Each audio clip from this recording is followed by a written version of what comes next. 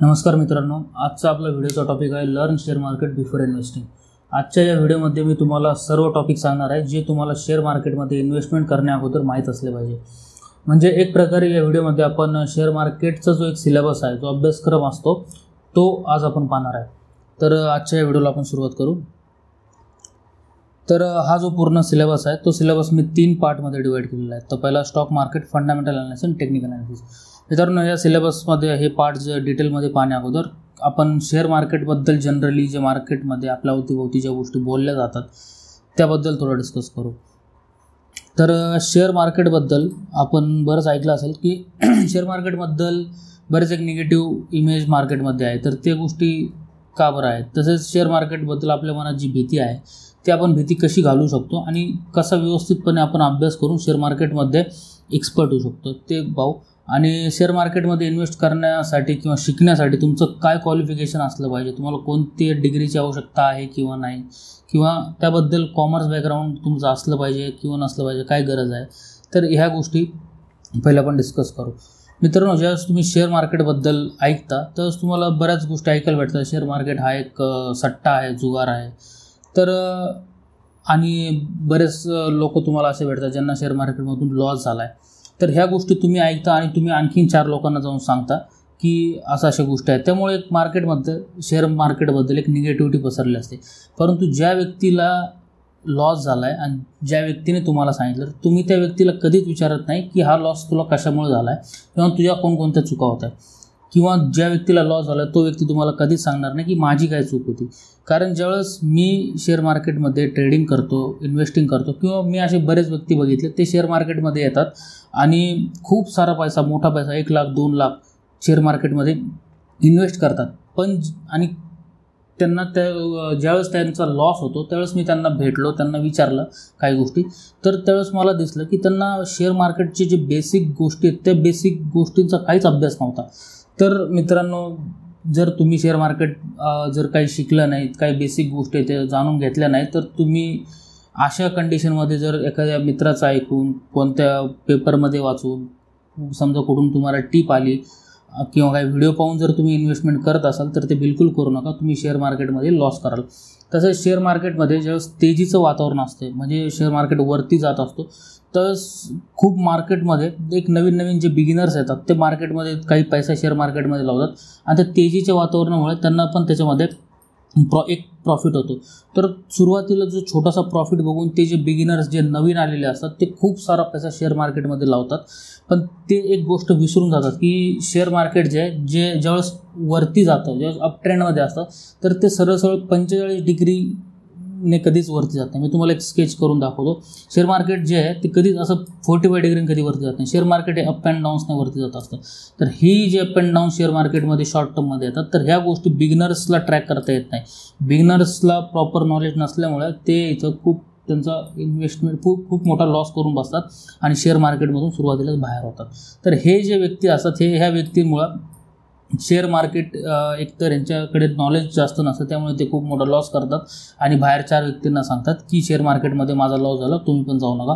परंतु तुम्ही जर व्यवस्थित अभ्यास केला व्यवस्थित सगळ्या गोष्टी समजून घेतल्या एक चांगला एक्सपिरियन्स घेतला तर शेअर मार्केटमधून जे नुकसान होतं तर त्यामधून तुम्ही वाचू शकता. तसेच तुम्ही बघितलं असाल की प्रत्येक देशामध्ये त्यांचे स्टॉक एक्सचेंज असतात. तिथे शेअर मार्केटिंगचे शेअर मार्केटचे कामं चालत असतात. तर हा जो जर तुम्ही मानत असाल हा एक सट्टा जुगार आहे तर गव्हर्नमेंट त्याला मान्यता का दिली? गव्हर्नमेंटने त्याला लिगल का मानले?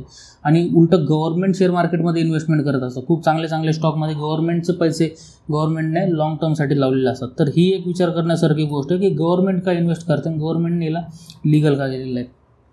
जर तुम्हाला याबद्दल काही डाऊट असेल तर तुम्ही सुरुवातीला श निफ्टीचे जे काही मागचे पाच वर्ष निफ्टीमध्ये काही रिटर्न्स दिलेले आहेत तर तुम्ही ते चेक करू शकता. मी तुम्हाला आता काही ऑनलाईन निफ्टीचे काही जे टॉपच्या कंपन्या आहेत त्याचे रिटर्न्स दाखवतो.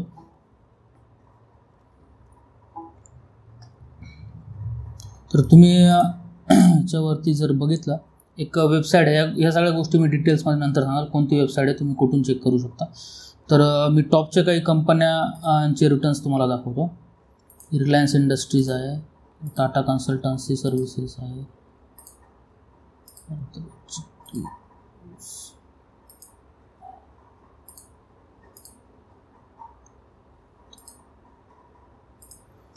तर सगळ्यात पहिले रिलायन्स इंडस्ट्रीज जर तुम्ही मागचे पाच वर्षाचे रिटर्न्स बघितले तर two fifty eight percent returns दिलेले तर टू फिफ्टी एट पर्सेंट म्हणजे अडीच पट. जर तुम्ही पाच वर्षापूर्वी एक लाख लावले असतात तर आता त्याचे अडीच लाख झाले असते. लक्षात घ्या. टी सी एस एक आय टी कंपनी आहे. आय टी कंपनीचं जे रिटर्न्स ते sixty point nine three returns आणि हे रिटर्न्स जे तुम्ही इथं बघू शकता हा हा जो मोठा क्रॅश झाला आहे कोरोना लॉकडाऊन नंतर झालेला क्रॅश आहे. क्रॅश नंतर झालेले रिटर्न्स आहेत. जर हे हा जर क्रॅश नसता तर हे एटी नाईंटी पर्सेंट तुम्हाला रिटर्न्स दिसले असते.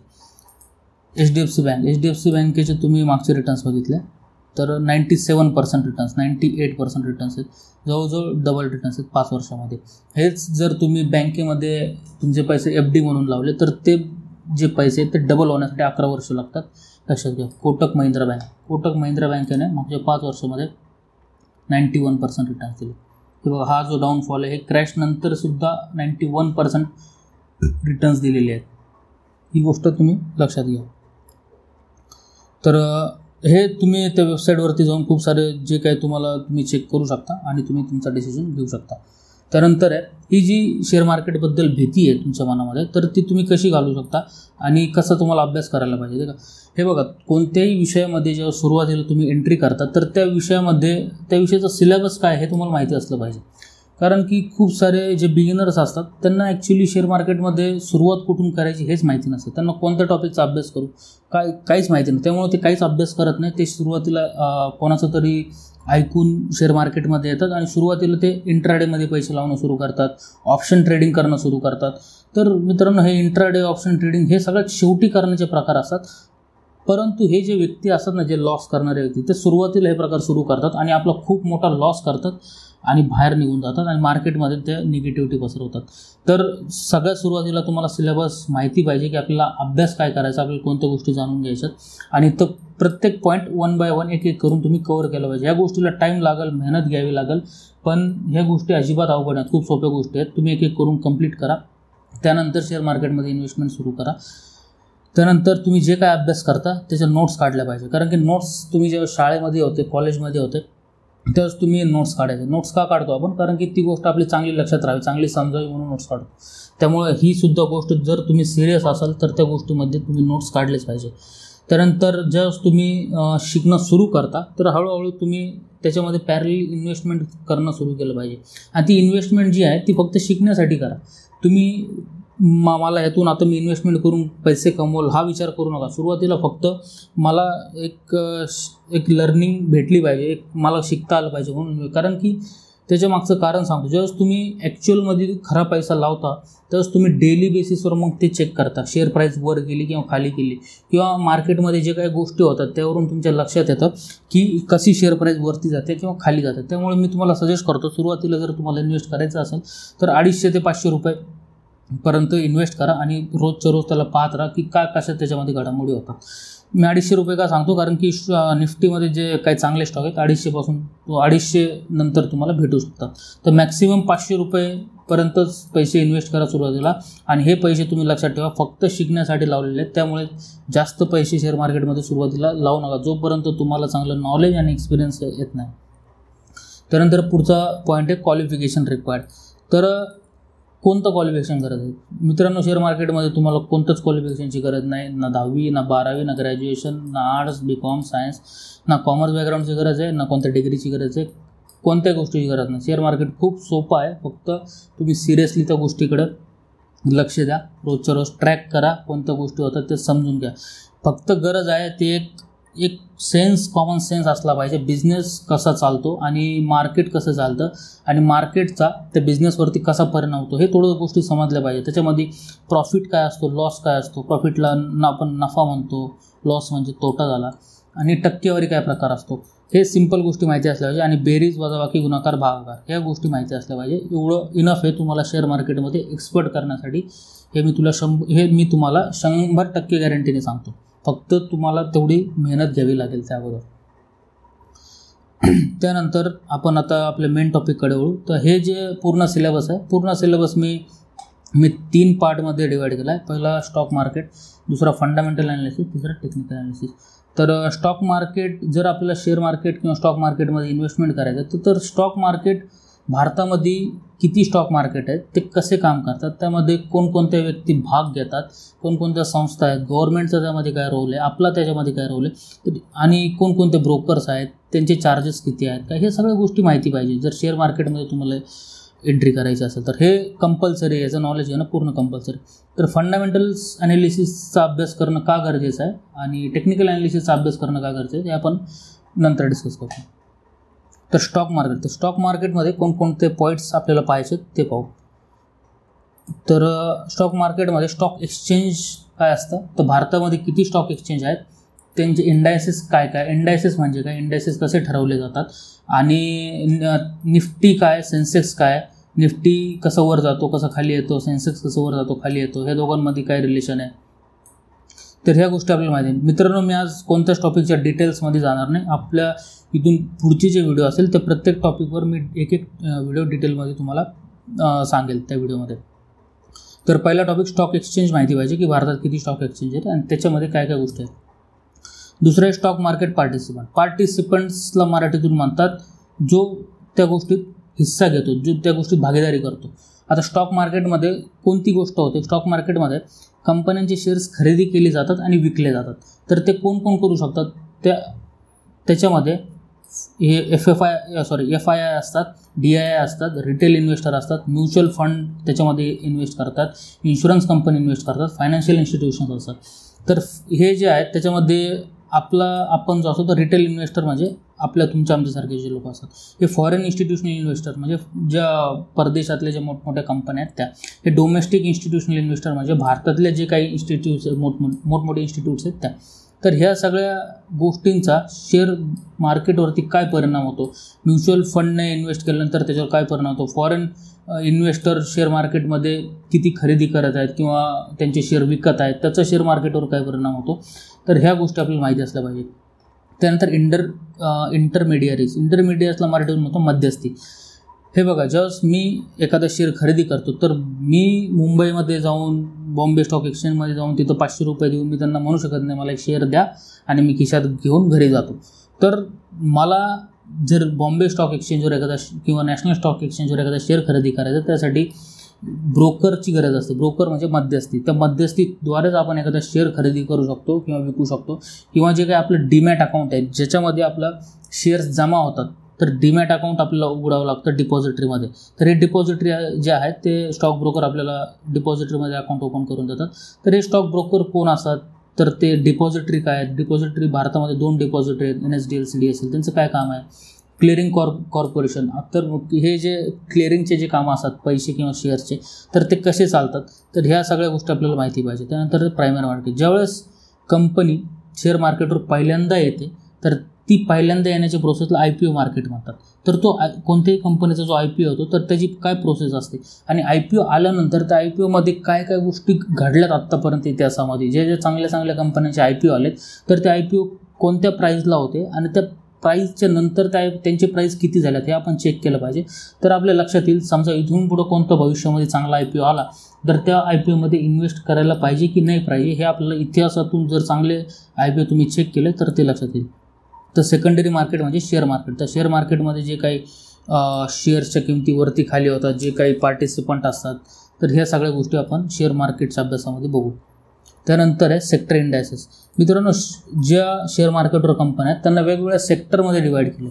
समजा टाटा मोटर्स आहे तर ती एक वाहनाची कंपनी गाडीची कंपनी तर तिला ऑटोमोबाईल सेक्टरमध्ये टाकले.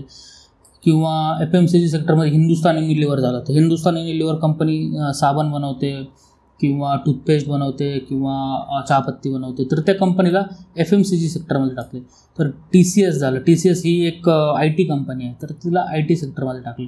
तर आपल्याला माहिती पाहिजे की किती निफ्टीमध्ये शेअर मार्केटमध्ये किती सेक्टर आहेत आणि त्या सेक्टरमध्ये कोणकोणत्या कंपन्या लिस्ट आहेत तर हे याचा ह्या सगळ्यांचा अभ्यास आपल्याला माहिती पाहिजे. कारण की एक गोष्ट लक्षात घ्या. ज्यावेळेस शेअर मार्केट वरती जाते त्यावेळेस असं गरजेचं नाही. सगळे सेक्टरवरती जातात. त्याच्यामध्ये समजा ऑटो सेक्टरवरती जाईल एफ एम सी जीवरती जाईल आय टीवर जाईल परंतु फार्मा सेक्टर खाली जाईल बँक सेक्टर खाली जाईल असं होऊ शकतं. किंवा कधी कधी असं होतं बँक सेक्टरवरती आहे आणि बाकी सेक्टर खाली गेली.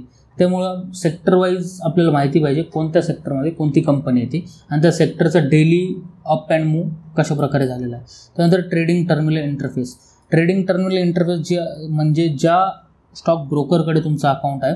त्या ब्रोकरचं एक वेबसाईट असते. त्या वेबसाईटचं एक टर्मिनल एक वेब पेज असतं. तिथून तुम्ही स्टॉक खरेदी करू शकता किंवा विकू शकता. तर ते जे इंटरफेस आहे त्या इंटरफेसमधल्या सगळ्या गोष्टी म्हणजे तिथं शेअर प्राईस कशी दिसते ते जे चार्ट बनतात ते कसे आपण पाहू शकतो किंवा त्याच्यामध्ये जे काही टेक्निकल इंडिकेटर्स असतात ते कसे लावू शकतो. किंवा तिथं आपण एक वॉच लिस्ट तयार करू शकतो. म्हणजे डेली आपल्याला प्रत्येक वेळेस टाईप करायची गरज नाही. डेली आपण तिथं वॉच लिस्ट लावून ठेवली तर आपल्या डेली समोर उघडल्या उघडल्यासमोर ते आपले जे फेवरेट स्टॉक असतील ते तिथं दिसतील आणि आपल्याला लवकर गोष्टी कळतील. तर हे ट्रेडिंग टर्मिनल इंटरफेस असतं. तर भारतामध्ये जे काही टॉपचे जे काही स्टॉक ब्रोकर्स आहेत तर त्याच्यामध्ये झिरो झालं अपस्टॉक झालं. तर माझं अकाउंट जे आहे अपस्टॉक्समध्ये मी तुम्हाला हा जो अपस्टॉकचा पूर्ण इंटरफरन्स सॉरी इंटरफेस जो आहे तो एका व्हिडिओमध्ये डिटेलमध्ये सांगाल की इंटरफर इंटरफेसमध्ये आपण कोणकोणत्या गोष्टी कशा चेक करू शकतो. तसेच ते जे ब्रोकर्स आहेत त्यांचे चार्जेस किती असतात की इंट्राडेमध्ये किती चार्जेस असतात. ज्यावेळेस एका दिवसात आपण शेअर खरेदी विक्री करतो तर तिथं किती चार्जेस घेतात आणि एक दिवसापेक्षा जास्त जर आपण एखादा शेअर विकत घेऊन ठेवला तर त्याला किती चार्जेस असतात. तर हे चार्जेस आपल्याला माहिती पाहिजे. तसंच क्लिअरिंग अँड सेटलमेंट प्रोसेस ज्यावेळेस आपण एखादा शेअर खरेदी करतो तर तो शेअर आपल्याला तिथं तुमच्या इंटरफेसमध्ये तुम्हाला दिसेल. परंतु ॲक्च्युली तो तुमच्या डिमॅट अकाउंटमध्ये दोन दिवसानंतर येतो. किंवा तुमचे जे पैसे कट होतात ते तुम्ही ज्या व्यक्तीकडून शेअर विकत घेतला त्या व्यक्तीला दोन दिवसानंतर पोहोचतात. तर दोन दिवसामध्ये हे पूर्ण प्रोसेसमध्ये काय काय गोष्टी घडतात तर ह्या क्लिअरिंग अँड सेटलमेंट प्रोसेस आपल्याला माहिती पाहिजे. तसेच corporate actions and impact on the share price तसेच कंपन्या त्यांच्या शेअर प्राईसबद्दल वर्षामध्ये बऱ्याच काही गोष्टी घडत असतात. तर त्यांचा इम्पॅक्ट शेअर प्राईसवर काय होतो? तर कोणकोणत्या गोष्टी घडतात? तर कंपनी बोनस डिक्लेअर करते. बोनस म्हणजे कंपनी समजा प्रॉफिटमध्ये असेल तर ती जे काही शेअर होल्डर्स असतील त्यांना बोनसमध्ये एक्स्ट्रा शेअर देऊ शकते किंवा पैसे वाटू शकते. तर त्याच्या शेअर प्राईजवर काय परिणाम होतो? किंवा त्यांचे जे काही स्टॉक्स असतील सध्या मार्केटमध्ये त्याला स्प्लिट करू शकते. तर स्टॉक स्प्लिट करण्याचे काय कारण आहेत? आणि स्टॉक स्प्लिट केल्यानंतर त्याचा शेअर प्राईजवरती काय परिणाम होतो? हे आपल्याला माहिती पाहिजे. तसंच कंपनी राईट इश्यू मार्केटमध्ये आणते. तर सध्या एक रिसेंटली रिलायन्सने राईट इश्यू मार्केटमध्ये आणला होता. तर तो मार्केटमध्ये राईट इश्यू का आणला होता? आणि शेअर प्राईजवर त्याचा काय परिणाम होतो हे माहिती पाहिजे. त्यानंतर buyback of the share buyback म्हणजे परत रिटर्न घेणे. ज्यावेळेस कंपन्यांचे शेअर्स मार्केटमध्ये असतात तर कधी कधी कंपन्या मार्केटमधले शेअर्स त्यातलं काही पर्सेंटेज शेअर्स परत स्वतःकडे विकत घेतात. तर हे गोष्टी बायबॅक शेअर का करते? तर हे एक पॉझिटिव्हली आपण त्याला घे घेतलं पाहिजे किंवा निगेटिव्हली घेतलं पाहिजे. तर हे ह्या गोष्टीचा अभ्यास तुम्हाला करावा लागेल.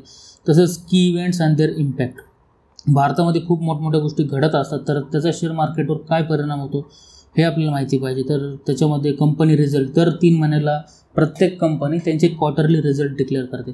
तर त्या कंपन्याचा शेअर प्राईजवर खूप मोठा इम्पॅक्ट होतो. समजा एखाद्या कंपनीने तिचे क्वार्टरली रिझल्ट डिक्लेअर केले आणि क्वार्टरली रिझल्ट्समध्ये त्या कंपनीने सांगितलं की आम्हाला असा असा प्रॉफिट झाला आहे तर खूप चान्सेस आहेत की त्या कंपनीचे शेअर वरती जातील. किंवा खूप चान्सेस आहेत समजा त्या कंपनीने लॉस जाहीर केला तर खूप चान्सेस असतात की त्या कंपनीचे शेअर खाली जातील.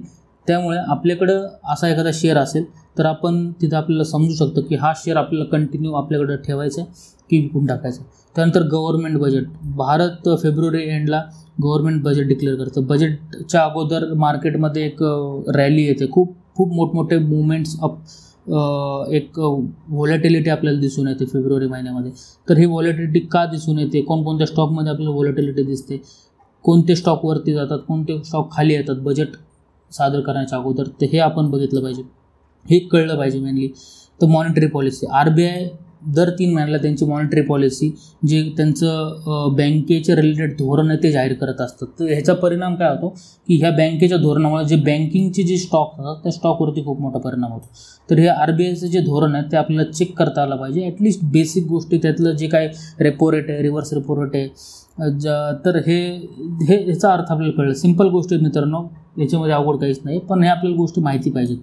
त्यानंतर काही फेस्टिवल भारतामध्ये खूप सारे फेस्टिवल असतात वर्षभरामध्ये. उदाहरणार्थ दिवाळी फेस्टिवल दिवाळीमध्ये आपण गाडी खरेदी करतो. तर गाडी ज्यावेळेस आपण खूप सारे लोक करतात तर त्यावेळेस ऑटोमोबाईलचे जे स्टॉक्स असतात तर त्याच्यामध्ये तुम्हाला काहीतरी फ्लक्च्युएशन दिसू शकतात. तर ह्या गोष्टी आपल्याला कळल्या पाहिजे. फ्लक्च्यु म्हणजे फेस्टिवल सीझनमध्ये कोणत्या स्टॉकमध्ये मुवमेंट होते? ते वॉरसारखे सिच्युएशन क्रिएट होऊ शकते. समजा इंडिया चायना कॉन्फ्लिक्ट जे आत्ता आपण पाहतो तर समजा वॉरसारखी सिच्युएशन आली तर त्याचा शेअर मार्केटवर किती जबरदस्त इम्पॅक्ट होतो हे आपल्याला माहिती पाहिजे. कारण की ह्या इम्पॅक्टपासून आपण भविष्यामध्ये आपला जो होणारा लॉस आहे तिथून आपण वाचू शकतो. त्यानंतर पॅन्डेमिकसारखी सिच्युएशन करोनासारखी सिच्युएशन ज्यावेळेस येते आणि प्रत्येक देश लॉकडाऊन जाहीर करतो त्यामुळे सगळे बिझनेस ठप्प होतात आणि शेअर मार्केटवर त्याचा खूप जबरदस्त परिणाम होतो. तर हा परिणाम कसा होतो आणि आपल्याला कसा आपल्याला याच्यातून वाचता येतात ह्या गोष्टी आपल्याला माहिती पाहिजे. त्यानंतर आपण पुढचा टॉपिक तर ह्या ज्या गोष्टी आहेत तर हे स्टॉक मार्केटमधलं पूर्ण सिलेबस मी तुम्हाला सांगितलं. कोणकोणत्या गोष्टी तुम्हाला चेक केल्या पाहिजे त्यानंतर पुढचा टॉपिक आहे मित्रांनो फंडामेंटल ॲनालिसिस तर सगळ्यात पहिले समजून घ्या फंडामेंटल ॲनालिसिस का करणं गरजेचं आहे आणि फंडामेंटल ॲनालिसिस म्हणजे काय? आपण त्याच्यामध्ये कोणत्या गोष्टी चेक करतो? ज्यावेळेस तुम्ही शेअर मार्केटमध्ये पाहता तर शेअर मार्केटमध्ये ज्यावेळेस तुम्ही एन एस सीमध्ये पाहता नॅशनल स्टॉक एक्सचेंज जवळजवळ दोन हजार कंपन्या आहेत. दोन हजार कंपन्या आहेत आणि बॉम्बे स्टॉक एक्सचेंजमध्ये पाहता तर तिथं जवळजवळ पाच हजार कंपन्या आहेत. तर या यामध्ये तुम्हाला लाँग टर्म इन्व्हेस्टमेंटसाठी कंपनी निवडायची असेल तर तुम्हाला ज्या कंपन्यांचे फंडामेंटल्स स्ट्रॉंग आहेत अशी कंपनी निवडावी लागते. कारण ज्या कंपन्या फंडामेंटली स्ट्रॉंग असतात ना त्या लाँग टर्ममध्ये खूप चांगले रिटर्न्स देतात तर फंडामेंटल ॲनालिसिस आपण चा अभ्यास आपल्याला करायचा लाँग टर्म इन्व्हेस्टमेंटसाठी ही गोष्ट तुमच्या मनाशी गाठ बांधून घ्या की फंडामेंटल ॲनालिसिसचा जो काही अभ्यास असेल तो अभ्यास आपल्याला ज्यावेळेस तुम्ही लाँग टर्म इन्व्हेस्टमेंट म्हणजे किती? लाँग टर्म इन्व्हेस्टमेंट म्हणजे तीन ते पाच वर्षापेक्षा जास्त तुम्हाला शेअर मार्केटमध्ये इन्व्हेस्टमेंट करायचं असेल तर तुम्हाला फंडामेंटल ॲनालिसिस त्या शेअरचं फंडामेंटल ॲनालिसिस चेक करणं गरजेचं आहे. उदाहरणार्थ समजा H D F C bank तुम्हाला त्याच्यामध्ये लाँग टर्मसाठी पैसे टाकायचे. तर ल तर त्या एच डी एफ सी बँकेचे जे फंडामेंटल ॲनालिसिसमध्ये जे काही पॉईंट्स येतात तर ते पॉईंट्स चेक त्याच्या अगोदर केले पाहिजे. तर फंडामेंटल ॲनालिसिस हे लाँग टर्म इन्व्हेस्टमेंटसाठी करणं खूप गरजेचं तर फंडामेंटल ॲनालिसिसमध्ये म्हणजे नक्की काय? म्हणजे त्याच्यामध्ये नक्की कोणकोणते पॉईंट्स येतात? तर फंडामेंटल ॲनालिसिसमध्ये मॅनेजमेंट बॅकग्राऊंड येतं. त्या कंपनीचं मॅनेजमेंट कसं आहे? म्हणजे मॅनेजमेंटमधले जे काही व्यक्ती आहेत तर त्या व्यक्तींना किती एक्सपिरियन्स आहे? त्यांचं एज्युकेशन किती आहे? त्या गोष्टी आपण बघतो. त्याच्यानंतर बिझनेसचे एथिक्स काय आहेत? त्या कंपनीचे जे काय बिझनेस आहेत ते किती त्या कंपनीमध्ये समजा कोणती इलिगल गोष्ट तर होत नाही कोणता स्कॅम तर नाही झालेला. म्हणजे प्रॉपरली एकदम लिगल मार्गाने पूर्ण बिझनेस होतो आहे की नाही होतो ह्या गोष्टी आपण चेक केलं पाहिजे. तसेच त्या कंपनीचे शेअर होल्डर कोण कोण आहेत? तर त्या शेअर होल्डरमध्ये किती मोठमोठे लोक किंवा मोठमोठ्या बाकी कंपन्यांनी त्या कंपन्यांमध्ये इन्व्हेस्ट केलेलं आहे. ह्या गोष्टी चेक करणं गरजेचं आहे. तसेच त्या कंपनीचे प्रमोटर कोण आहे? त्या कंपनीचा मालक कोण आहे? हे चेक करणं गरजेचं आहे. तसेच त्या कंपनीने मागच्या पाच वर्षात मागच्या दहा वर्षात त्या कंपनीचा प्रॉफिट ग्रोथ कशी झालेली आहे हे बघणं खूप महत्त्वाचं आहे. तसंच जी काही प्रॉफिट आहे त्या प्रॉफिटमधलं जे मार्जिन आहे ते मार्जिन वाढते किंवा कमी होतं आहे हे सुद्धा गोष्ट आपल्याला बघणं गरजेचं आहे. तसंच त्या कंपनीचं जे काही प्रोडक्ट असेल समजा बिस्किट बनवणारी कंपनी तर तिचं प्रोडक्ट काय असतं? बिस्किट. तर ते जे प्रोडक्ट आहे तर त्या प्रोडक्टचं कॉम्पिटेटिव्ह ॲडव्हान्टेज त्या कंपनीकडे आहे की नाही? कॉम्पिटेटिव्ह ॲडव्हान्टेज म्हणजे त्या कंपनीच्या प्रोडक्टमध्ये अशी कोणती खास गोष्ट आहे की जी बाकी कंपन्यांकडे नाही? कारण की हीच जी गोष्ट असते ती कंपनीला लाँग टर्म मार्केटमध्ये सस्टेन करू शकते लाँग टर्म मार्केटमध्ये ठेवू शकते. कारण की समजा एखाद्या कंपनीकडे एखाद्या प्रोडक्टचं कॉम्पिटेटिव्ह ॲडव्हान्टेज आहे. समजा एक कंपनीचं प्रोडक्ट ती कंपनी शंभर रुपयामध्ये बनवते तर तेच प्रोडक्ट बाकी कंपन्यांना बनवायला एकशे वीस एकशे तीस रुपये लागतात. याचा अर्थ त्या कंपनीकडे खूप चांगला ॲडव्हान्टेज आहे ते तिथं चांगल्या मार्जिननी प्रॉफिट कमवू शकतात. तर ते कॉम्पिटेटिव्ह ॲडव्हान्टेज असलं पाहिजे. आपण ज्या कंपनीमध्ये लाँग टर्मसाठी विचार करतो तर ह्या सगळ्या गोष्टी त्या कंपनीकडे असल्या पाहिजे. तसेच त्या कंपनीवर कर्ज किती आहे? तर कर्ज एखाद्या कंपनीवर असणं ही वाईट गोष्ट नाही आहे कर्ज एखादी कंपनी एक्सपान्शनसाठी सुद्धा देऊ शकते. पण ते कर्ज वर्षानुवर्ष वाढत जातं आहे किंवा कमी होत जातं आहे ह्या गोष्टी आपण चेक केल्या पाहिजे तसेच त्या कंपनीचे इन्व्हेस्टमेंट किती आहेत? ती कंपनी किती म्हणजे बाहेर समजा कंपनीला दुसरा प्लांट इन्व्हेस्ट दुसऱ्या प्लांटमध्ये इन्व्हेस्ट करायचं ग्रो करायचं असेल तर कंपनीला ऑब्वियस इन्व्हेस्टमेंट करणं गरजेचं आहे. तर कंपनी इन्व्हेस्टमेंट बाहेर करते की नाही करते हे गोष्ट करणं गरजेचं आहे. ही गोष्ट माहिती करणं गरजेचं आहे. तसेच त्या कंपनीचे जे काही असेट्स आहेत जी काही मालमत्ता आहे प्लांट मशिनरी तर त्या वर्षानुवर्ष किती इम्प्रूव्ह झाल्या या गोष्टी बघणं. तर ह्या सगळ्या गोष्टी फंडामेंटल ॲनालिसिसमध्ये आपल्याला चेक करावं लागतात. ही गोष्ट तुम्ही समजून घ्या. तर फंडामेंटल ॲनालिसिसमध्ये कोणकोणते टॉपिक आहेत ते आपण बघू. तर एक गोष्ट लक्षात ठेवा फंडामेंटल ॲनालिसिस लॉंग टर्मसाठी जेव्हा तुम्हाला इन्व्हेस्ट करायचं तर फंडामेंटल ॲनालिसिस बघणं त्याचा अभ्यास करणं खूप महत्त्वाचं आहे. तर फंडामेंटल अनालिसिसमध्ये हे सगळे टॉपिक येतात. तर सगळ्यात महत्त्व पहिला टॉपिक आहे ॲन्युअल रिपोर्ट्स तर कंपनी दरवर्षी मार्च नंतर त्यांचा ॲन्युअल रिपोर्ट जाहीर करते तर ॲन्युअल रिपोर्ट हा शेअर होल्डरसाठी असतो. तर त्या ॲन्युअल रिपोर्टमध्ये तर कंपनीमध्ये वर्षभरामध्ये जे जे काही ऑपरेशन झाले जे जे काही कामं झालेत तर त्या गोष्टी आपल्याला पाहायला मिळतात. तसंच कंपनीची मार्केटची जी काही कंडिशन आहे आणि त्या मार्केट कंडिशनमध्ये कंपनीची जी काही कंडिशन आहे तर ती कंडिशन त्या ॲन्युअल रिपोर्टमध्ये आपल्याला तिथं त्याबद्दल आपल्याला माहिती वाचायला भेटाल. तसेच त्या कंपनीचं काय व्हिजन आहे? भविष्यामध्ये कंपनीचे काय प्लान्स आहेत? कोणते प्रोडक्ट कंपनीचे आहेत? त्या प्रोडक्टचं मार्केटमध्ये किती किती मार्केटमध्ये शेअर आहे? किती मार्केट त्यांनी कॅप त्या प्रोडक्टने कॅप्चर केलेलं आहे? तर ते सगळ्या गोष्टी फ्युचर प्लान्स कंपनीचे काय तर ह्या सगळ्या गोष्टी आपण ॲन्युअल रिपोर्टमधून चेक करू शकतो. कारण की जेव्हा आपल्याला कंपनीचे फ्युचर प्लान्स कंपनीचे मार्केट कंडिशन कळतं. त्यावेळेस आपण ठरवू शकतो की कंपनी भविष्यात पुढच्या पाच वर्षात दहा वर्षामध्ये कंपनी मार्केटमध्ये सस्टेन करू शकेल की नाही करू शकेल. कारण की आपण कंपनीमध्ये आपल्याला लाँग टर्मसाठी पैसा लावायचा तर ह्या गोष्टी आपल्याला चेक करणं गरजेचं आहे. तसेच तीन खूप महत्त्वाचे फायनान्शियल स्टेटमेंट्स आहेत. हे खूप म्हणजे खूप इम्पॉर्टंट आहेत. तर याच्यामध्ये पहिलं statement profit and loss statement दुसरं बॅलन्स शीट आणि तिसरं कॅश फ्लो स्टेटमेंट तर प्रॉफिट अँड लॉस स्टेटमेंट आपल्याला नावरूनच कळतं की त्याच्यामध्ये कंपनीला किती प्रॉफिट झाला आहे म्हणजे किती नफा झाला आहे आणि किती तोटा झाला आहे हे त्याच्यामध्ये असतं. तर हे जे फायनान्शियल स्टेटमेंट्स असतात हे दर तीन महिन्याला कंपनी डिक्लेअर करते. तर तुम्ही दर तीन महिन्याचे स्टेटमेंट चेक करू शकता किंवा वर्षातून एकदा चेक करू शकता. तर त्याच्यामध्ये प्रॉफिट अँड लॉस स्टेटमेंटमध्ये तुम्हाला रेव्हेन्यू म्हणजे किती महसूल किती पैसा कंपनीने गोळा केला आहे आणि कंपनी किती खर्च करते. तर किती गोळा केला आहे आणि किती खर्च करते जेव्हा तुम्ही याची वजाबाकी करता तर तुम्हाला किती प्रॉफिट झाला आहे किंवा किती लॉस झाला आहे हे कळतं. तर हे झालं पहिलं स्टेटमेंट दुसरं स्टेटमेंट बॅलन्स शीट स्टेटमेंट तर बॅलन्स शीट स्टेटमेंटमध्ये कंपनीला हा जो फॉर्म्युला हा बॅलन्स करावा लागतो. म्हणजे asset is equal to liabilities plus shareholders fund तर असेट म्हणजे कंपनीची मालमत्ता. तर त्याच्यामध्ये कंपनीचे प्लांट्स मशिनरी जी काही कंपनीकडे जो पैसा आहे तर तो पूर्ण असेटमध्ये येतो. लायबिलिटीज म्हणजे कंपनीला जे काही देणं आहे म्हणजे कर्ज झालं तर हे देणं लायबिलिटीज असतं. आणि शेअर होल्डर्स फंड म्हणजे कंपनीमध्ये सुरुवातीला जे कोणी शेअर होल्डर्स जे आहेत त्यांनी जो पैसा इन्व्हेस्ट केला आहे तो शेअर होल्डर्स फंड तर असेट कंपनीचे जे असेट आहेत ते लाँग टर्ममध्ये ग्रो होत आहेत की नाही? म्हणजे कंपनीचे असेट वाढतात की कमी होतात हे चेक केलं पाहिजे.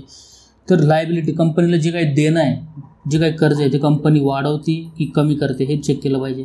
तर शेअर होल्डर्स फंड म्हणजे कंपनी जे प्रॉफिट झाल्यानंतर जो कंपनीकडे एक्स्ट्रा पैसा आहे एक्स्ट्रा पैसे जे कंपनीकडे जमा शिल्लक होतात तर ते रिझर्व संसर रिझर्व्स कंपनी शेअर होल्डर फंडमध्ये टाकते. तर हे जे काही रिझर्व्स आहेत शेअर होल्डर फंड आहे हा वाढतोय किंवा कमी होतो हे चेक केलं पाहिजे. तर बॅलन्स शीटमध्ये या सगळ्या गोष्टी आपण चेक करत असतो. तिसरं फायनान्शियल स्टेटमेंट आहे कॅश फ्लो स्टेटमेंट तर फ्लोचा अर्थ होतो प्रवाह. तर हा जो पैशाचा प्रवाह आहे कॅशचा जो प्रवाह तो आतमध्ये येणारा प्रवाह आणि बाहेर जाणारा प्रवाह. तर त्याच्यामध्ये कंपनी वेगवेगळ्या प्रकारचे कॅश फ्लो कंपनीमध्ये असतात की कं मेन तीन प्रकारचे असतात. एक ऑपरेशनमधून येणारा कॅश दुसरी दुसरी आहे एक फायनान्समधून येणारा आणि तिसरं इन्व्हेस्टमेंटमधून येणारा. तर कंपनीचं जे काय मेन ऑपरेशन आहे समजा एखादी बिस बिस्किट बनवणारी कंपनी आहे तर तिचं मेन काम काय बिस्किट बनवणं. तर बिस्किट बनवण्यासाठी कंपनीला जो खर्च येतो जो पैसा बाहेर जातो आहे आणि बिस्किट विकून जो पैसा आतमध्ये येतो तो किती आहे? दुसरं आहे कंपनी इन्व्हेस्टमेंट तर कंपनी समजा ग्रो करते दुसरा प्लांट टाकते तर त्या इन्व्हेस्टमेंटमधून किती पैसा बाहेर चालला आहे किती पैसा आतमध्ये येतो हे आपण बघितलं पाहिजे. आणि तिसरं फायनान्स तर कंपनी जे काही कर्ज घेते तर कर्ज दरवर्षी कंपनीला काही व्याज आपल्या कंपनीला द्यावं लागतं. त्या व्याजाच्या स्वरूपात पैसा बाहेर जातो. किंवा जे काही कंपनी बाहेर इन्व्हेस्टमेंट करते तर त्या इन्व्हेस्टमेंटमधून पैसा आतमध्ये येतो. तर हे फायनान्शियल ॲक्टिव्हिटीजमध्ये जे पैसा बाहेर चालला आहे किंवा आतमध्ये येतो तर ह्या सगळ्या गोष्टी आपण कॅश फ्लो स्टेटमेंटमध्ये चेक करू शकतो.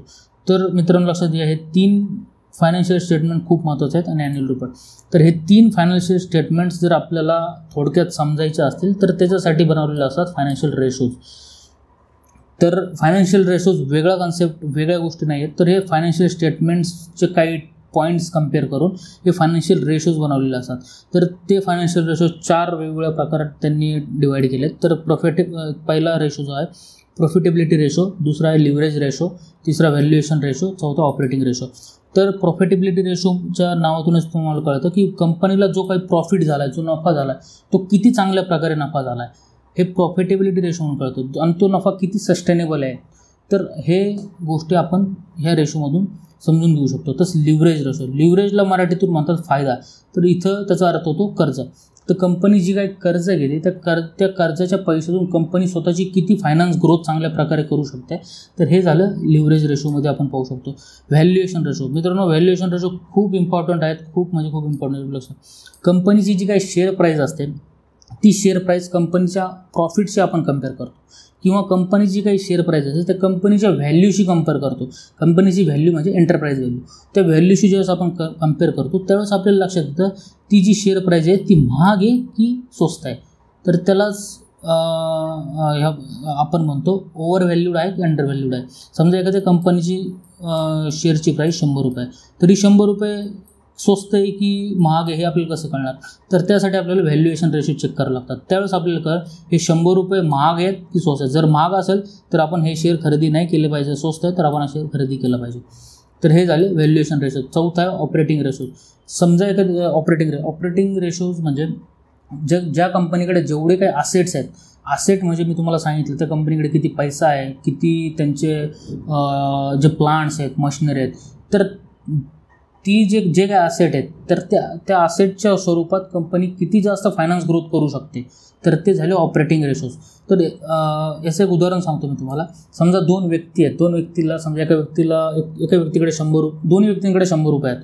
तर पहिली व्यक्ती ते शंभर रुपये बिझनेसमध्ये लावून एकशे दहा रुपये बनवते आणि दुसरी व्यक्ती शंभर रुपये लावून त्याचे एकशे तीस रुपये बनवते. ह्याचाच अर्थ जी दुसरी व्यक्ती आहे त्याचा जो ऑपरेटिंग रेशो हा एकदम स्ट्रॉंग आहे. म्हणजे त्या दुसऱ्या व्यक्तीची जी एफिशियन्सी आहे जी असेटमधून जी काही तो ग्रोथ फायनान्स ग्रोथ करतो ती एकदम चांगली आहे.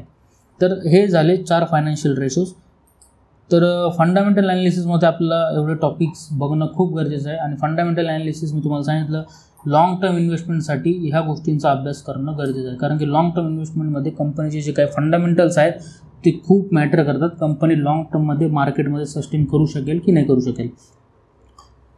त्याच्यानंतर आपण आत्ता बघितलं फंडामेंटल ॲनालिसिस हा पॉईंट कवर केला. आणि मी तुम्हाला सांगितलं फंडामेंटल ॲनालिसिस करणं गरजेचं आहे. हे लाँग टर्मसाठी एक गोष्ट मनामध्ये तुम्ही गाठ बांधून घ्या. फंडामेंटल ॲनालिसिस म्हणजे लाँग टर्म टेक्निकल ॲनालिसिस आपण करतो शॉर्ट टर्मसाठी लाँग टर्म मी तुम्हाला सांगितलं तीन ते पाच वर्षापेक्षा जास्त तर शॉर्ट टर्म टेक्निकल ॲनालिसिस आपण करतो. हे काही मिनिटांपासून तर काही आठवड्यांपर्यंत. तर हा जो अभ्यास असतो टेक्निकल ॲनालिसिसचा तर ह्या अभ्यासाद्वारे आपल्या आपण काही मिनटामध्ये इन्व्हेस्ट करून प्रॉफिट कमवू शकतो. किंवा एखादा शेअर खरेदी करून काही दिवसांसाठी किंवा काही आठवड्यांसाठी ठेवून त्याच्यामधून चांगला प्रॉफिट मिळू शकतो. तर हे ह्या गोष्टी कशा होतात? कसं काय टेक्निकल ॲनालिसिसमधून आपण प्रॉफिट जमा करू शकतो? पहिले ती गोष्ट समजून घेऊ. मी तुम्हाला मी तुम्हाला एक चार्ट एक डायग्राम ड्रॉ करून दाखवतो. हे हे बघा मित्र ज्यावेळेस तुम्ही लाँग टर्ममध्ये पैसे इन्व्हेस्ट करता एखाद्या चांगल्या कंपनीमध्ये तर त्याची शेअर प्राईस समजा इथून तुम्ही आज इन्व्हेस्ट केली त्याची शेअर प्राईस शंभर रुपये आहे.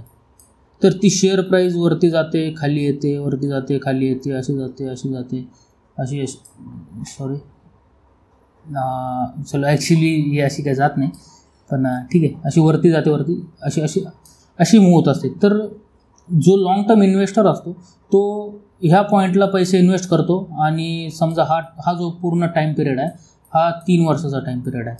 तर तो काय करतो? तीन वर्षानंतर त्याचे हे जे शंभर रुपये तर हे झालेले असतात दीडशे दोनशे रुपये झालेले असतात तर तो इथे पैसे काढून देतो. तर त्याला जे हे हे एक महिन्यामध्ये पंधरा दिवसामध्ये हे अप अँड डाऊन जे येतात त्याला ह्या गोष्टींचा काही फरक पडत नाही.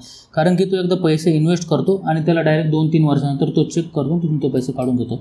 परंतु जे टेक्निकल ॲनालिस्ट असतात जे शॉर्ट टर्म ट्रेडर असतात जे इंटरनेट ट्रेडर असतात तर हे जे मार्केटमध्ये हे डेली असे जे फ्लक्च्युएशन्स मार्केट जात असतं ना तर त्या फ्लक्च्युएशन्सचा उपयोग करतात. ही जी संधी आहे त्या संधीचा उपयोग करून ते प्रॉफिट कमवतात. तर जे टेक्निकल ॲनालिस्ट काय करतात ते ट्रेडर जे असते काय करतात ते मार्केट ते बघतात. तो शेअर प्राईस जेव्हा खाली येतो तेव्हा तो हा चान्स सापडतात हा चान्स सापडतात इथे शेअर खरेदी करतात आणि इथे विकतात. परत इथं विकला त्यानंतर तो परत खाली आला तर ते इथं पकडतात इथं विकून टाकतात. परत तो खाली आला इथं कुठंतरी घेतात इथं विकून टाकतात. तर टेक्निकल अभ्यासाच्याद्वारे आपल्याला हा चान्स आपण सापडू शकतो. एखादा शेअर कधी ह्या पॉईंटला पोहोचेल आणि आपण तो बाय करून अशा कुठेतरी पॉईंटला इथं विकून त्यातून हा जो नफा आहे ना हा आपण नफा कमवू शकतो? तर ह्याच्यासाठी आपल्याला टेक्निकल अभ्यास करणं टेक्निकल ॲनालिसिस करणं खूप गरजेचं आहे. कारण की हे जी संधी मार्केट आपल्याला सारखं रोज देते दर आठवड्याला देते ही ज्या संधी असतात ना या संधी आपण कॅप्चर करून एक रेग्युलर बेसिसवर प्रॉफिट जमा म्हणजे गोळा करू शकतो. म्हणजे एक मंथली इन्कम यातून आपण चांगलं जनरेट करू शकतो टेक्निकल तर टेक्निकल ॲनालिसिसमध्ये कोणकोणत्या गोष्टी येतात ते आपण पाहू. तर टेक्निकल ॲनालिसिसमध्ये सगळ्यात बेसिक गोष्ट आहे चार्ट तर चार्टमध्ये तीन टाय लाईन चार्ट असतो bar chart candle line chart सगळ्यांनी पाहिला असेल तर लाईन चार्ट एकदम कॉमन चार्ट आहे. आणि बार चार्ट सध्या यूज करत नाही. तर बार चार्ट मी तुम्हाला समजून सांगेल पण तर त्याचा उपयोग नसतो. तर लाईन चार्ट आणि सगळ्यात महत्त्वाचा जो टेक्निकल ॲनालिसिसमध्ये चार्ट आहे तो कॅन्डलिस्टिकचा तर कॅन्डलिस्टिक चार्ट जो आहे ह्या चार्टचा अभ्यास करून जो ट्रेडर असो तो ओळखतो की आपलं कुठं संधी भेटते कुठं आपला शेअर विकत घेतला पाहिजे आणि कुठं विकला पाहिजे. मी तुम्हाला एक ऑनलाईन एक कॅन्डल स्टिक चार्ट दाखवतो. हे बघा मित्र हे जे ना मी तुम्हाला देखा हा हे जे आहे हा आहे कॅन्डलस्टिक चार्ट हे एक एक कॅन्डल असतात. हे एक एक दिवसाचे कॅन्डल असतात. हे एक एक तासाचे पण असू शकतात. पण ही कॅन्डल हे ग्रीन कॅन्डल ही रेड कॅन्डल तर ह्याचा काय मिनिंग होतो? तर ह्या सगळ्या गोष्टींचा एक अभ्यास असतो. तर ह्या गोष्टी आपल्याला समजल्या पाहिजे. ह्या गोष्टी ज्यावेळेस आपल्याला समजतात त्यावेळेस आपल्याला ती संधी सापडू शकतो. ज्यावेळेस आपण खाली त्या शेअरला विकत घेऊ शकतो आणि वरती गेल्यानंतर त्याला विकू शकतो. तर ते कॅन्डल कॅन्डलिस्टिक चार्टचा आपल्याला व्यवस्थित अभ्यास करता आला पाहिजे. त्यानंतर कॅन्डलिस्टिक ॲनाटॉमी ॲनाटॉमी म्हणजे जी कॅन्डल आपण आत्ता बघितली त्याच्यामध्ये तुम्हाला असं दिसलं असेल की ही ही बॉडी म्हणजे काय असतं? हे त्याच्याखाली अशा छोटे छोटे वीक बाहेर आलेले असतात. तर ही ही वीक असते. ते वीकचा काय अर्थ होतो? हे बॉडीचा काय अर्थ होतो? तर ही ॲनाटॉमी आपल्याला समज समजली पाहिजे. तशी जी ज्यावेळेस एक सिंगल कॅटन कॅन्डल बनते ज्यावेळेस ती सिंगल कॅन्डल एका विशिष्ट रूपात येते ना तर त्याचे पण वेगवेगळे त्याच्यामध्ये टाईप्स असतात. त्याच्यामध्ये मारुबुजू कॅन्डल असते डोजी कॅन्डल असते स्पिनिंग टॉप कॅन्डल असते. मित्रांनो हे जे नाव आहे ना मारुबुजू डोजी हे जॅपनीज नाव आहेत कारण की हे जे हा जो कॅन्डलस्टिक प्रकार आहे हा जपानमधून आलेला आहे. त्यामुळे हे नावं जपानमधून डायरेक्ट इकडे आलेले आहेत त्यामुळे असं काही घाबरून जाऊ नका. हे एकदम सिंपल गोष्टी आहेत भले तुम्हाला किती यांचे नावं आवड दिसत आहे एक खूप सिंपल गोष्टी ज्यावेळेस तुम्ही त्याचा डिटेलमध्ये अभ्यास कराल त्यावेळेस तुम्हाला लक्षात येईल.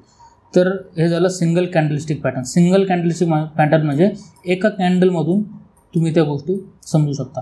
मल्टिपल कॅन्डलस्टिक पॅटर्न ज्यावेळेस असं एक कॅन्डल आहे ना त्याचे दोन किंवा तीन दोनपेक्षा जास्त कॅन्डल एका विशिष्ट रूपामध्ये येतात. तर ते एक पॅटर्न बनवतात. तर त्या पॅटर्नचे त्या पॅटर्नमध्ये सुद्धा काही प्रकार आहेत. तर त्याच्यामध्ये इनगल्फिंग आहे हरामी आहे मॉर्निंग स्टार इव्हनिंग स्टार हा सुद्धा वर्ड जो आहे ना तो जपनीज आहे. त्याच्यामुळं कन्फ्यूज होऊ नका.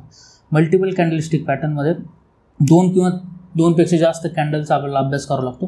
तरच हे पॅटर्न आपल्या लक्षात येतात.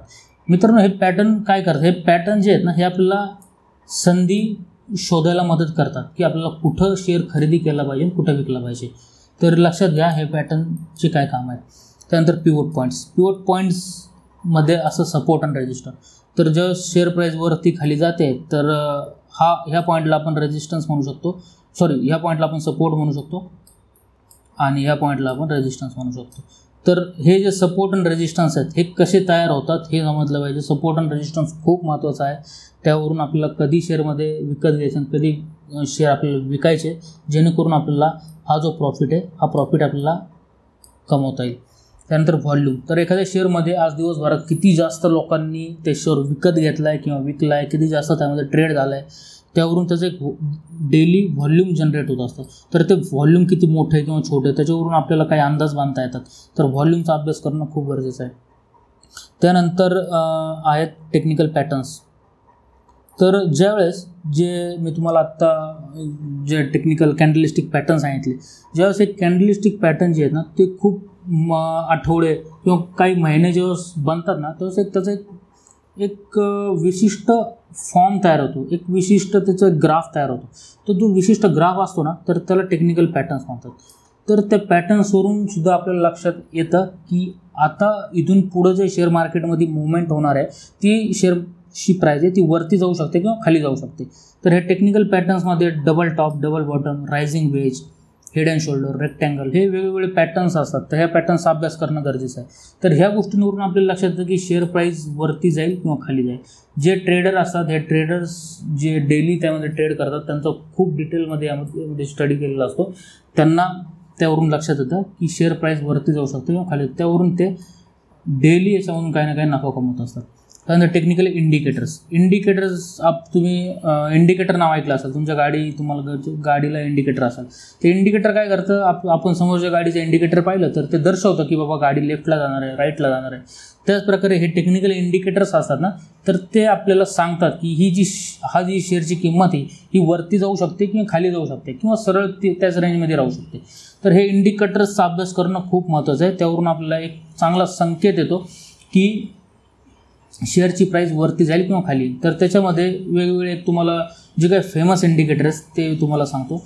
मुव्हिंग ॲव्हरेज आहे एम एस सी डी आहे आर एस आय व्ही वॅप आहे बोलिंजर बँड आहे फिओनॉची रिट्रेसमेंट तर हे काही फेमस इंडिकेटर्स आहे तर ह्या ह्या इंडिकेटरच्या मदतीने आपल्याला कळू शकतं की भविष्यामध्ये म्हणजे पुढच्या काही दिवसांमध्ये शेअर प्राईस वरती जाऊ शकते किंवा खाली येऊ शकते.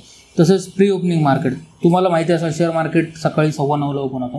परंतु शेअर मार्केट सव्वा नऊला नाही तर नऊला ओपन होतं. नऊ ते नऊ पंधरामध्ये जे मार्केट चालू असतं तर त्याला म्हणतात प्री ओपनिंग मार्केट तर ते प्री ओपनिंग मार्केटमध्ये ॲक्च्युली काय होतं ते समजणं गरजेचं आहे. त्याच्या त्याच्यामध्ये छोटे छोटे टाईम इंटरवल असतात. समजा नऊ वाजून नऊ ते नऊ वाजून सात मिनटापर्यंतच तुम्ही त्याच्यामध्ये शेअर खरेदी करू शकता. तर ते टायमिंग्स आपल्याला माहिती पाहिजे. आणि त्याच्या प्री ओपनिंग मार्केटमध्ये सुद्धा आपण काही स्ट्रॅटर्जीज बनवू शकतो. जेणेकरून सव्वा नऊ नंतर आपल्याला काही प्रॉफिट दहा मिनटात पंधरा मिनटातसुद्धा प्रॉफिट घेऊन बाहेर पडणारे लोक असतात. तर त्या स्ट्रॅटर्जीज कोणकोणत्या आपण बनवू शकतो हे माहिती पाहिजे. तर प्री ओपनिंग मार्केटनंतर सव्वा नऊला मार्केटमध्ये जी गॅप्स क्रिएट होतात म्हणजे मार्केट खूप तेजीमध्ये असेल तर खूप गॅप अप खूप वरती मार्केट चालू होतं. किंवा ज्यावेळेस मार्केटमध्ये खूप मंदी असेल त्यावेळेस खूप खाली मार्केट चालू होतं. म्हणजे त्याला गॅप डाऊन मानतात किंवा वरती चालू त्याला गॅप अप मानतात तर ह्या गॅप थेरीज काय तर ते हे गॅप्स क्रिएट झाल्यानंतर त्याच्यामध्ये काय काय गोष्टी होतात? हे गॅप्स कधी फील होतात? तर ह्या सगळ्या गोष्टी आपल्याला माहिती पाहिजे. त्यानंतरचा टॉपिक आहे आपण ट्रेडिंगचे प्रकार बघू की टेक्निकल ॲनालिसिसद्वारे आपण कोणकोणत्या प्रकारच्या ट्रेडिंग करू शकतो. म्हणजे कोणकोणत्या प्रकारे आपण शेअर खरेदी करू शकतो विकू शकतो. तर त्याच्यामध्ये स्विंग ट्रेडिंग स्विंग ट्रेडिंग हे समजा मी आज शेअर खरेदी केला किंवा उद्या विकला किंवा चार दिवसानंतर किंवा काही आठवड्यानंतर विकला. तर ह्या प्रकारचं जे ट्रेडिंग असतं काही दिवसांपासून तर काही आठवड्यांपर्यंत याला स्विंग ट्रेडिंग नाव दिलेलं आहे. आणि त्याचे कोणकोणत्या स्ट्रॅटर्जीज आहेत? कोणकोणत्या स्ट्रॅटर्जीज बघून आपण शेअरमध्ये एंट्री करू शकतो त्याच्यातून एक्झिट करू शकतो. त्यानंतर इंट्राडे इंट्राडे ट्रेडिंग हे एक दिवसाचे ट्रेडिंग असतं. तुम्हाला आजच शेअर विकत घ्यायचा आणि आजच विकायचा. तर जे काही तुमचा नफा तोटा असेल तो आजच्या आज तुम्हाला भेटून तुम्ही तिथून मोकळे होता. तर इंट्राडे ट्रेडिंग असते. त्यामध्ये त्याच्यामध्ये काय काय स्ट्रॅटर्जी तुम्ही काय काय स्ट्रॅटर्जी तुम्ही बनवू शकता जेणेकरून तुम्हाला त्यातून प्रॉफिट होईल. त्यानंतर स्काल्पिंग नावाचा प्रकार असतो. स्काल्पिंग हा काही मिनिटांसाठीच असतो. समजा मी दहा वाजता शेअर एखादा खरेदी केला आहे आणि दहा वाजून चार मिनिटांनी विकला आहे तर त्याच्यामधून सुद्धा मी प्रॉफिट घेऊ शकतो.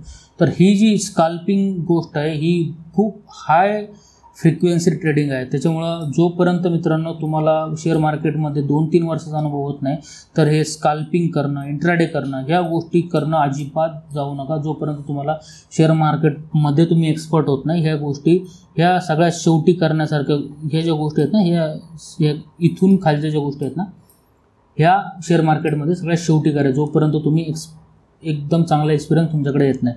तर सुरुवातीला शिकण्यासाठी तुम्ही स्विंग ट्रेडिंग करू शकता पण इंट्राडे स्काल्पिंग ह्या गोष्टी नंतर करा. त्यानंतर डेरिव्हेटिव्ह डेरिव्हेटिव्हमध्ये डेरिव्हेटिव्ह हा एक प्रकार आहे. त्या प्रकारामध्ये फ्युचर अँड ऑप्शन असतात.